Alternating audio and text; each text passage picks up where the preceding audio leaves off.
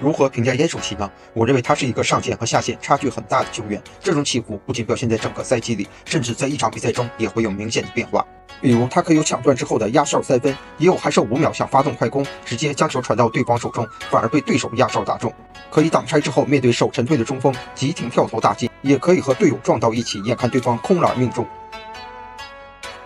甚至有时欠缺了一点运气，一个精彩的面对双人包夹突破之后的上篮打中，却踩到了摄影师的脚上，随即自己做出了换人的手势。我相信艾伦和纪伟都认可的球员实力一定不差。二十七岁的首帝即将开启自己的第七个赛季，时间会告诉我们为什么俱乐部愿意再续三年。